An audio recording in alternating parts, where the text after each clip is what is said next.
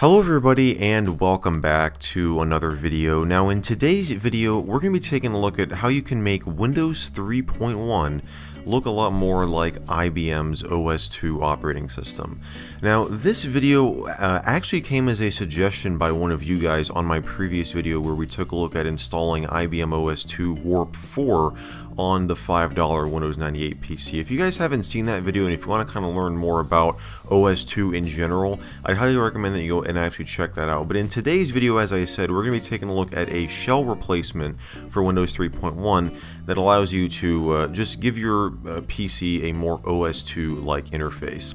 And this piece of software is called the Workplace Shell for Windows, and it was actually created by IBM developers in the mid 1990s. But the interesting thing is, this was actually released as unsupported freeware by IBM through their uh, employee written software programs. This was essentially a piece of software that was written by IBM developers, but it wasn't supported officially by IBM. And they did actually make this free to download, which is pretty awesome. This could also be used since OS2 actually contained a uh, essentially a miniaturized uh, virtualized version of Windows 3.1.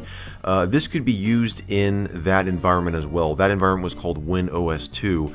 So you could actually install this shell in um, OS2 if you wanted to and basically uh, make your Windows environment within OS2 look more like OS2. So you could use it that way if you wanted to as well. Uh, this was last updated in the year 1995, and as you're going to see once we actually start the setup here in a minute, this was actually really intended for those people who were kind of on the fence about OS2 or thinking about switching over to OS2 from Windows, but they wanted to really get familiar with OS2's Workplace Shell interface before just ditching Windows entirely. So this program really allowed them to do that without, you know, having to spend any money. It literally was a free program uh, and it, it is pretty cool. And let's go ahead and just jump into it and I'll show you guys what this is all about. I'll also have a uh, download link down below as this is hosted on uh, WinWorld's website. So uh, yeah, you can actually go and uh, check this out for yourself. But we have it mounted in this Windows 3.1 VM right here. We're going to open up the file manager and we're going to go to our A drive and we're going to run setup.exe. And so this is it right here. It opens up in, you know, the standard uh, Windows, you know, setup wizard. And right here it kind of tells you about uh, what this program is and that it's also released kind of as is with no support. So it says this program will install the Workplace Shell software on your computer. And uh, right here it kind of gives you this little uh, blurb saying that this program is distributed as is with no formal support whatsoever. While it is usable, its sole purpose is to demonstrate some of the features available in the IBM OS2 Warp Workplace Shell. It's not completely identical. There are a you know few minor differences which I'm going to be touching on, uh, but there are a lot of uh, similarities to the regular OS2 Workplace shell.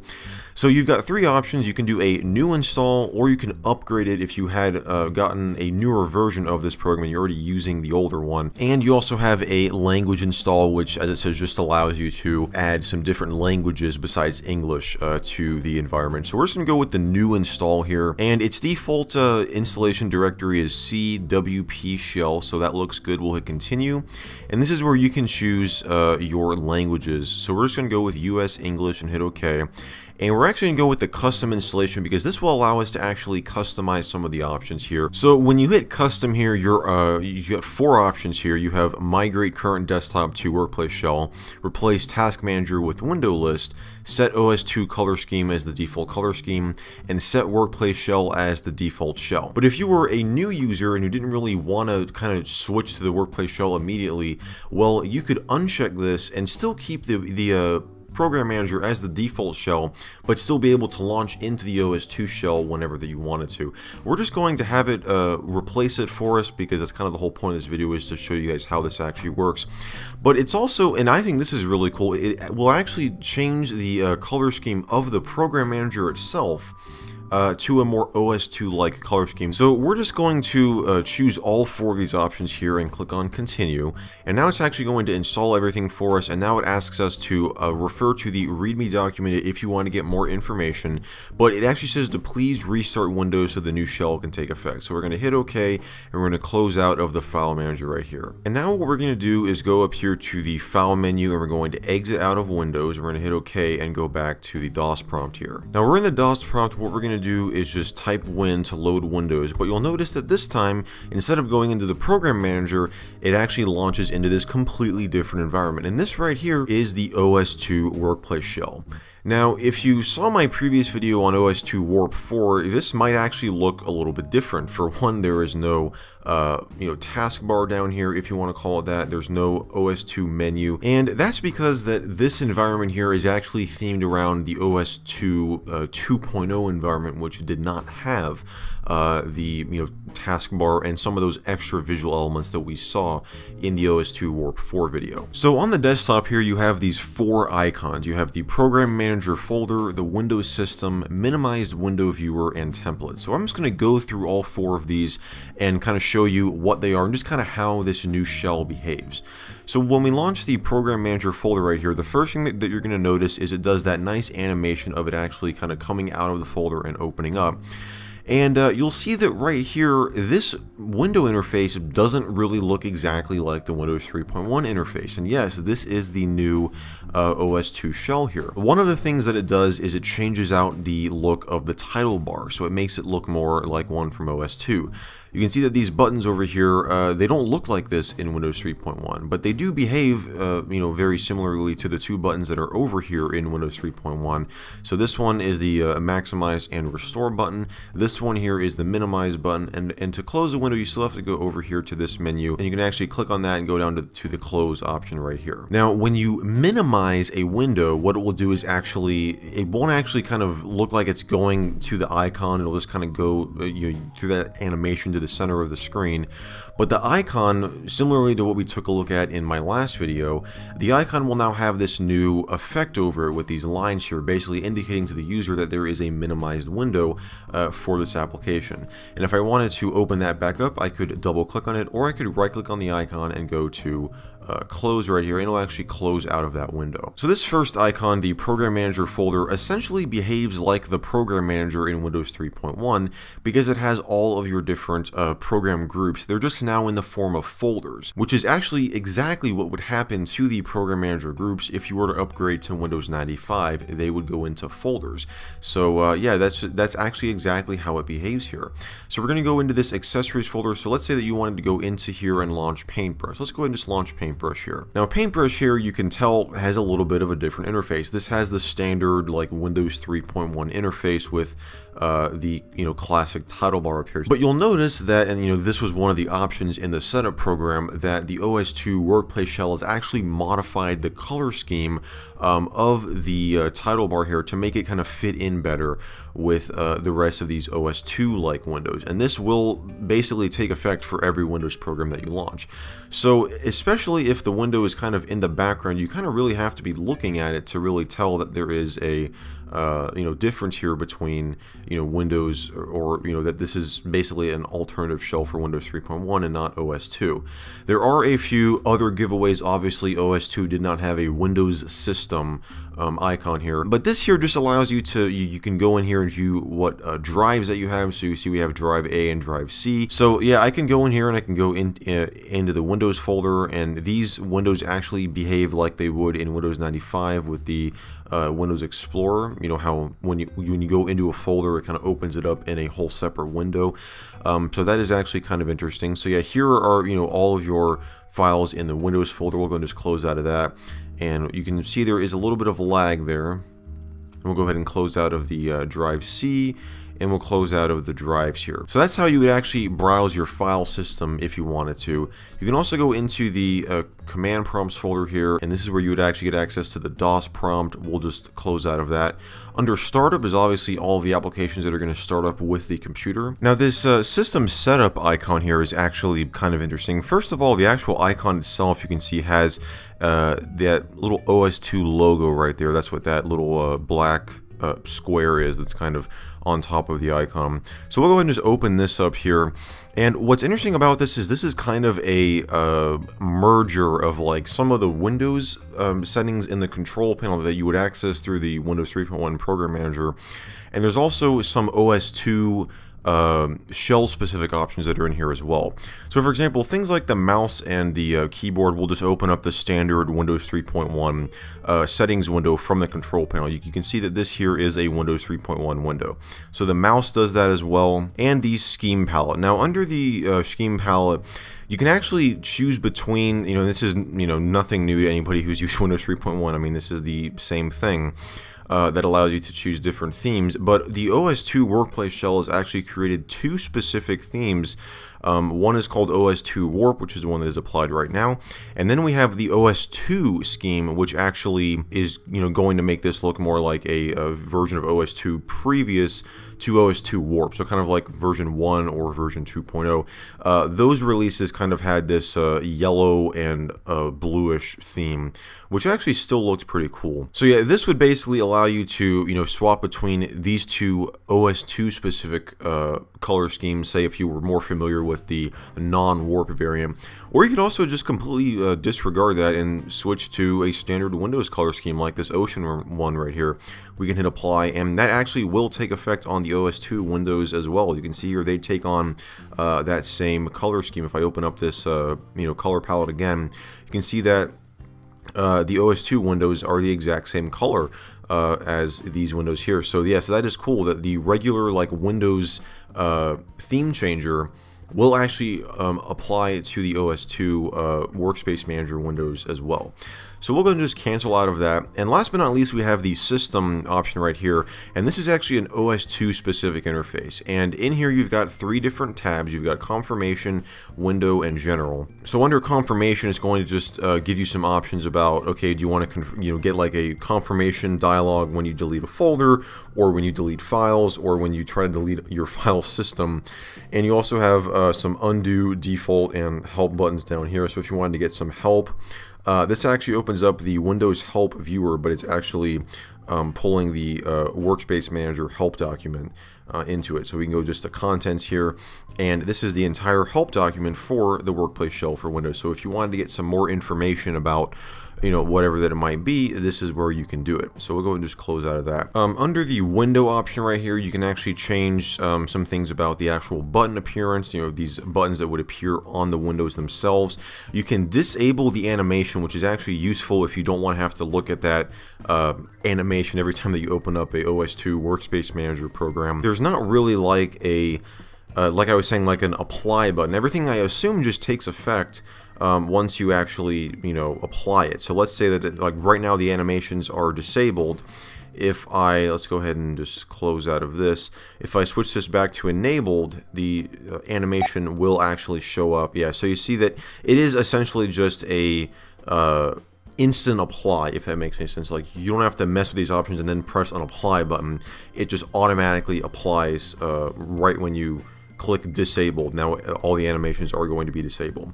Also under general you can actually change the icon of this program as well. So if I wanted to kind of switch this to a, a uh, different icon, let's say that I want to change it to this little help book right here. I can hit OK, and now the actual icon of this um, program right here is actually going to change. So let's go ahead and just close out of all these windows right here. That is everything in the system uh, setup view. It's everything in there. We already took a look at all of these other things inside of the Windows system. Uh, the last thing is the minimize window viewer, and this basically just shows what windows you have minimized, and this is really for uh, those Windows specific programs and not the OS2 stuff, because obviously the OS2 workplace shell stuff actually goes um, you know, if you minimize, like, let's say that I have this window open and I minimize it, well, it's actually going to go to its specific icon here, just like in OS2. Well, with the Windows stuff, obviously Windows, when you normally minimize uh, like for example paintbrush right here it normally goes down to the desktop in the bottom left corner. Well in this new OS2 workplace shell it actually goes to this minimized window viewer which is basically a dedicated program for viewing all of your minimized windows. So if you wanted to you can actually move this down here and uh, kind of have it in the same spot uh, like you would have all of your minimized windows uh, show up in Windows 3.1 uh, you could actually just kind of have it down here to make it behave a little bit more like Windows 3.1. And last but not least, we have this templates menu right here. And what this allows you to do is, uh, well, you know, from this menu right here, first of all, you can actually modify these uh, actual templates themselves right here, changing the name and the icon of them. But what you can do, and it's actually kind of interesting because the way you actually drag icons around on your desktop is not by left clicking and holding like you would normally do in Windows and OS 2. You have to actually right click the icons and hold them. That's how you actually move them around.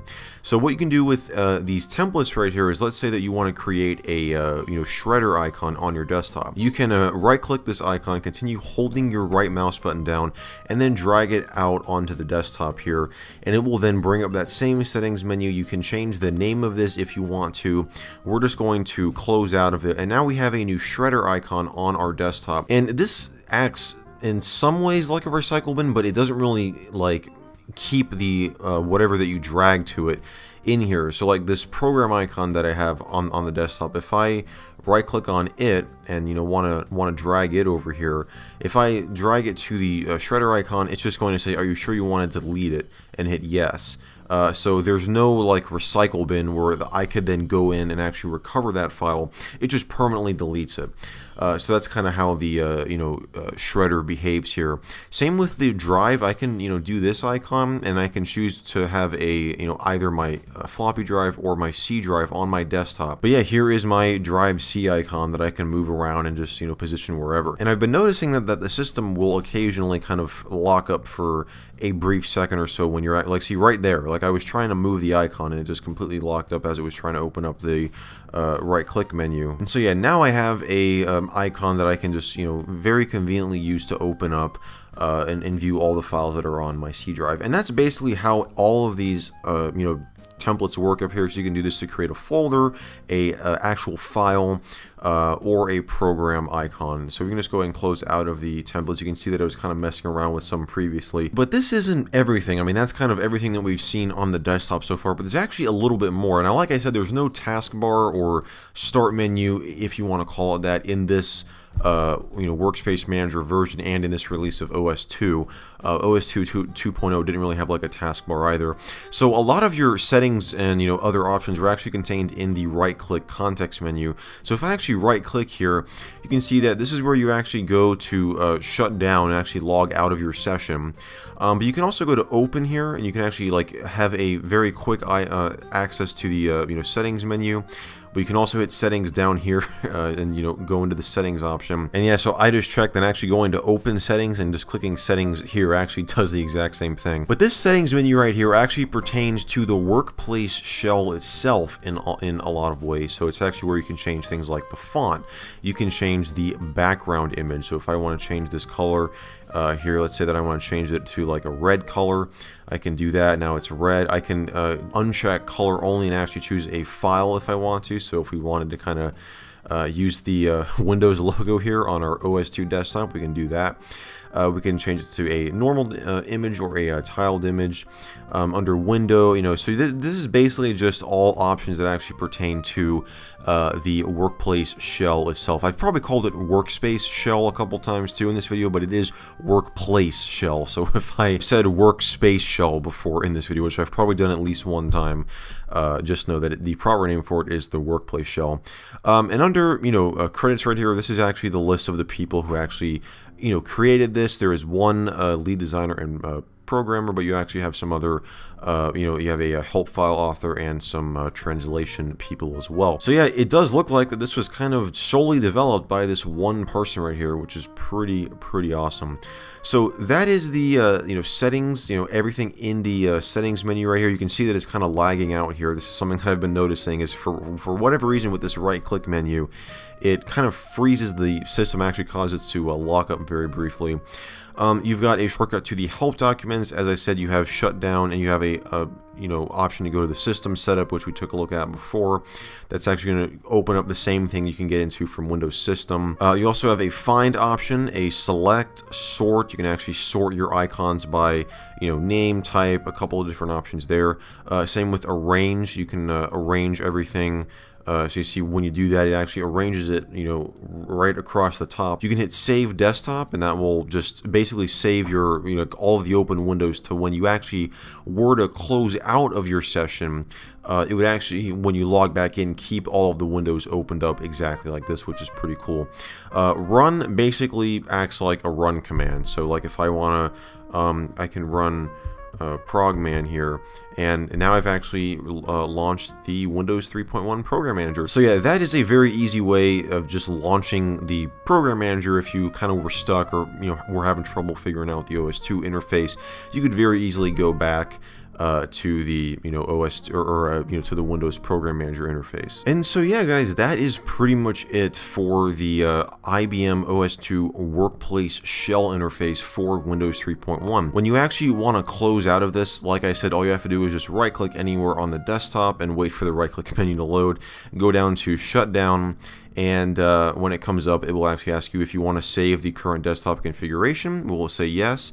And now it's actually going to log out of this for us. Now if you want to actually change back to you know the Windows 3.1 program manager um, there's actually no way to do that from within the workplace shell, what you actually have to do is modify your uh, system.ini file. So I can type in here uh, edit, um, uh, just kind of forgive me, I'm typing with one hand here uh, I can do edit system.ini, press enter, and right down here where it says shell, you can actually change this to instead of you know using the warp shell, you can actually have it use uh, Windows, and you want to type in progman .exe.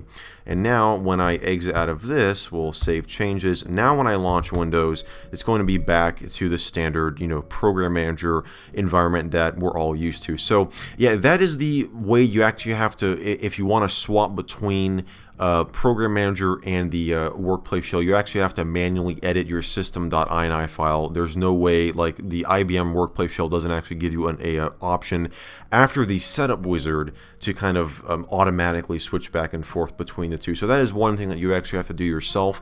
But overall, guys, I am very impressed with this program, especially the fact that this was free. I mean, like I said, this is this was and still is a free piece of software. IBM has actually made this, as far as I understand, they have uh, made this program open source now. Uh, they have actually released the source code to the public, which is pretty awesome. So, you know, we might see like some forks of this in the future. Who knows? But yeah, like I said, I mean, this is just a very, uh, very cool piece of software. It's a very easy way for you to either you know, start to learn the OS2 interface if you were thinking about switching over to it, or if, like I said, if you were an OS2 power user and really wanted to get that same interface on your, you know, secondary Windows computer that you had at home, or, you know, whatever, uh, you could very easily, you know, just use this and, you know, kind of feel at home. But yeah, guys, there you have it. That is a uh, very in-depth look at the IBM OS2 Workplace Shell for Windows 3.1. Uh, if you guys enjoyed this video and if you want to see more like it, definitely be sure to give this video a thumbs up. Uh, be sure to get subscribed down below and turn on those channel notifications if you haven't already to get notified whenever that I upload a new video, which I do every single week on this channel. And uh, also be sure to, you know, let me know your guys' thoughts on this program down in the comments below. Is this your first time, you know, hearing about this program or have you actually used this before uh, in the mid to late 90s? I definitely love to hear what you guys have to say. And uh, as always, I just want to thank you all so much for watching and I will see you in the next video.